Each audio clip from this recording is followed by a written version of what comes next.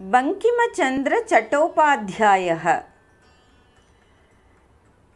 अष्टात्रिंशदधिकम् अष्टादशशततमे वर्षे जून् मासे सप्तविंशतिर्दिनाङ्के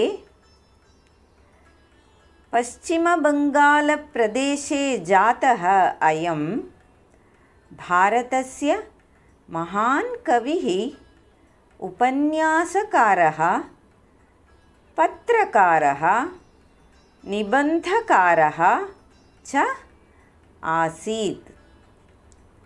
सः भारतस्य राष्ट्रीयगीतं वंदे मातरं सर्वप्रथमं संस्कृतभाषायां स्वतन्त्रता आन्दोलने क्रान्तिकारिणां मनोबलं वर्धनार्थं लिखितवान्।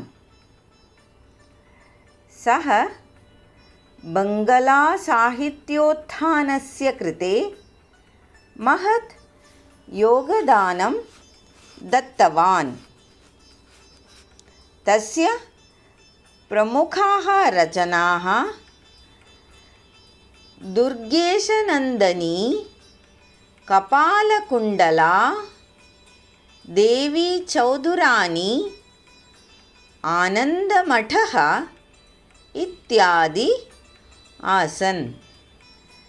सः बङ्गालभाषायाः साहित्यसम्राटः अपि कथ्यते।